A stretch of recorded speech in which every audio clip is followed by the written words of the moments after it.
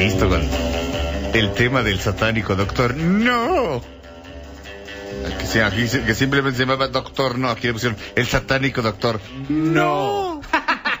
Pero no con... ¡No! ¡No! No sabía decir que. ¿Qué? Pues sí, muy bonito. Y entonces, señor Bueno, Villalobos, ayer estuve en la, en la de- premier de, Spectre. este de en el. Auditorio Nacional de James Bond. Estuvo el elenco, estuvo el director, San Méndez, los principales actores de la película. E insisto, este señalaron en varias ocasiones que era la premier para el continente americano. La película comienza, James Bond está en una especie de carnaval, este desfile de Disneylandia en el centro histórico, disque con motivo del Día de Muertos, que eso no existe en nuestro país, y va con una máscara y va llevando una mujer de la mano, que trae un antifaz. Se meten en el hotel de este de la Ciudad de México, que es muy bonito, Sí. llegan a un cuarto, parece que la va a besar, y en eso, cuando ella voltea, él ya está de traje, saliendo por la cornisa, con una pistola para matar a un hombre. Eso es todo lo que sale Stephanie Sigman. Ajá. Ah. Ella, creo que ni habla. Ya. Ya. Que por cierto, nada más hago un, hago un paréntesis. Iban vestidas Lía Sedó, este, Mónica Bellucci preciosas. Y esta pobrecita, Sí. como de Héctor Terrones. No, no, no, no. Vestido no, no. rojo, ¿no? Con un vestido rojo Sí. que se veía, pero como de telón Sí, del frufru, sí, sí. pobrecita, porque que le enseñen a vestirse, ¿no? Bueno, no sabe ni caminar. Bueno, entonces él eh, agarra y eh, va, va a disparar a un hombre que, que se ve que es muy malo. Que es maluco. Y entonces le dispara, y entonces una explosión, y entonces eh, lo sigue persiguiendo este malo entre el carnaval este, que te digo que es como Disneylandia.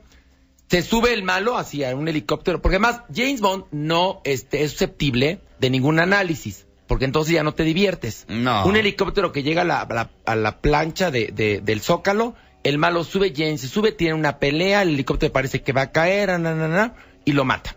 O sea, James Bond al malo, ¿no? No, bueno, de hecho, Fa- Fausto fue el que me dijo, un agente secreto que todo el tiempo está diciendo su nombre verdadero. Es ridículo. Todo el mundo lo sí. conoce. Todo el mundo es, mucho gusto, James Bond, agente secreto. De hecho, el 007, el indicativo es para que no sepas quién es, para guardar su y identidad. todo el tiempo dice, o sea, si no dice Bond, James Bond, en la, en la única en la que no lo hace es en Casino Royale. Bueno, no sé si en... Lo apenas Creo que Daniel. Craig no lo hace. Bueno, déjenme continuar. Ay, perdón. Déjenme Perdón. continuar. Luego, no la han visto ustedes, ¿verdad?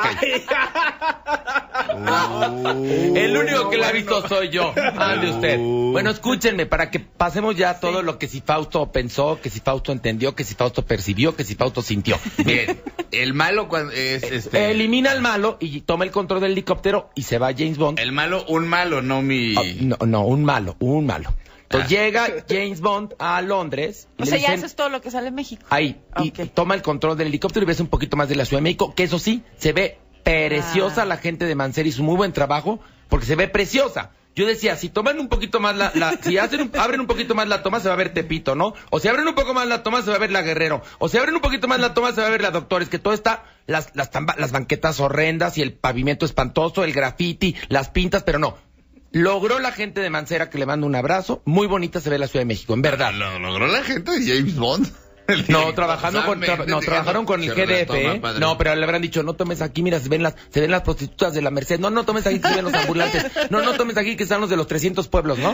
Eh, Bueno, pues eh, Sí. sí. Se ve muy bonita la Ciudad de México. Mm. Pues qué bonito. Y entonces... Después llega, llega a este, a, a Londres y está M, que ahora es Ralph Fiennes, que le dice, ¿qué fuiste a hacer a México? No, Ralph Fiennes le dice. no. Le dice, ¿qué fuiste a hacer a México? Y él, pues yo tenía que ir, estaba de vacaciones y esto pasó. Le dice, a ver, nos metiste en un problema internacional. Y atrás Claudia sacando unas copias Entonces, Bond. mi James Bond copias Bond. llega después a su casa y llega una, la secretaria de Ralph Fiennes a verlo, a entregarle unas cosas y él le enseña un video donde está Judy Dench, que le dice que mate a este hombre que él mató en México y que asista a su funeral. Ajá. Entonces James Bond después le dice, mira, me acaban de suspender, porque lo suspende este Ralph Fiennes, y, y le, y le meten en la sangre una especie de localizador para saber dónde anda mi James Bond. Ajá. Y entonces el, el que le pone eso, que es su amigo, le dice, tienes 48 horas para hacerte invisible. Entonces James Bond se va a Roma, al funeral de este hombre, y ahí conoce a Mónica Bellucci, Ajá. a quien se la echa, y ya no vuelve a aparecer Mónica Eh, Bellucci, ajá. que es la viuda de este hombre al, al que mata. Pero se la echa. Y que le da la clave. Pero se la echa. Sí, se la echa. Bien, bien, oye. Bueno, Y pues, ahí comienza, y ahí comienza, porque les platiqué los primeros 10 minutos. Ahí comienza la película donde va a buscar a una corporación llamada Espectro, que quiere tomar el control de los laboratorios y que genera enfermedades para hacer dinero en el planeta. Y todos los hilos sueltos que quedaron desde Casino Royal, les aviso, Ah. aquí van a llegar a feliz término. Ah, ¿verdad? Y tú oyes, ay, es que los dejó. Es que. No, lo que dije, no, no, no, no, no. Ah, Tú qué dijiste, payaso es Sam Méndez. tú dijiste que Sam Méndez está viendo, estaba viendo Skyfall y dijo, ay, creo que dejé algunos hilos sueltos, tengo que hacer la siguiente película. Pero eso es por contrato, no, no es una cosa de que, ay, se- se- de- dejé, dejé las tortillas en, el, en el sartén, voy a voltearlas. Se contrató nada más por esa y dijo, ya dijo, ya está y nomás.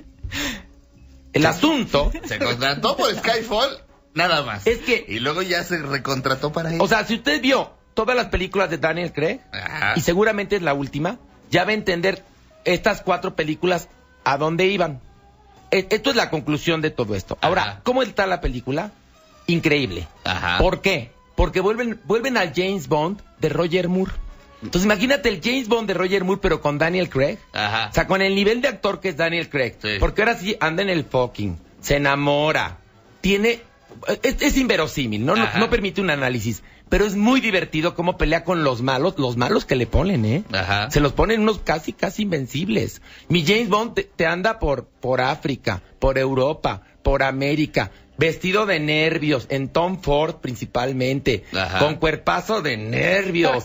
De No, no, no, pero además tiene parte humana mi James Bond, porque tiene que ver con su pasado, con su familia, con el amor, con la mujer que perdió. Queda huérfano a los 11 años, James Bond. Exactamente, ese es un punto clave de la película, Ah, bueno, que eh, no te voy a decir más. Esta información la sabe cualquier cono- conocedor de Bond. O por lo menos los nerds, pero lo saben.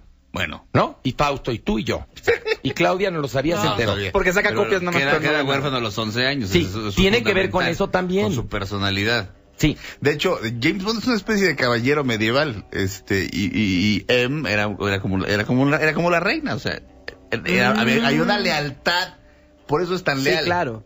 Por eso los agentes doble cero tienen esas características, por eso. No, y trabajan para no la tienen- reina. No tienen familia, no tienen nada que perder, por eso son capaces de arriesgar la vida y no están atados a nada. A nada. No, pero aquí todo entre, todo, todo está en peligro. Este, toda la organización de James Bond, ¿no? Para la que trabaja James Bond, el servicio secreto británico, MI6. eh, todo está en peligro. Este, la organización este espectro es lo más fuerte que hay en este planeta. Son malos, malos, retemalos. pero. James Bond está preparado para eso y más. Pero viajador. Eso sí te viaja. Yo quisiera, yo quisiera tener la capacidad para empacar de James Bond. En un segundo empaque lleva smoking, traje pegado, traje de día, camiseta de lino, zapatillas. No, no, no, no, no, no. La película vuelve a esto que es fantástico, Ajá. que es no tomárselo tan en serio, pero a la vez sí tomarse en serio el trabajo. Yo, yo le decía a Mauricio Valle, porque estábamos juntos, que, que el coordinador de producción de esas películas dura un filme, porque acaba con cáncer de próstata. Debe ser dificilísimo coordinar a tanta gente, tanta locación, tanta cosa. Ajá. La película está fantástica, va a ser un exitazo, corra a verla. Oye, está pero- increíble. Pero además Bien. está, va muy ad hoc porque Spectre, o sea, son siglas de la organización que, o sea, lo que quiere Sí. decir la organización es como la organización de la extorsión, el contraterrorismo, el contraterrorismo y venganza. O sea, como de los sesentas, como de Batman, pues, Sí, o sea, sí, te da sí, risa. sí, sí, Como sí. caos. ¿No? Todos Sí, los, exacto. la- de hecho, el espectro existe desde, desde siempre en el Ajá. universo de James Bond. y se de- identifican de con un, Bond, con un claro. anillo que tiene un pulpo. Sí. Ay, como Frodo. Ahora, Como el pulpo aprovechando que hay una nueva película de James Bond, aproveche y vea usted quién es de sus amigos y haga así una, así una terna, así. ¿Quién dice peor James Bond? ¿Quién dice James Bond? ¿Y quién ya se dio cuenta que dice James Bond? Y dice el 007 para evitar decir James Bond. Oye, el público de ayer, que seguramente muchos decían Jane Bond, Jane Bond, cuando salía México aplaudían, es de ternura, como diciendo, Ah. ay, nos vinieron los británicos a certificar como país. Sí, son no, país. no, no, no, en serio. Nos dieron Te la digo, patente de corso. Sí, y la gente iba con cara de vengo a la premier de Hollywood, y veías unas señoras con unos vestidos que dice, señora, a ver, si usted conoce mínimamente nuestra ciudad, ¿cómo se le ocurre venir con un vestido de lentejuelas largo a las escaleras del Auditorio Nacional? Se va a caer, claro, venían caminando como chenchas, ¿no?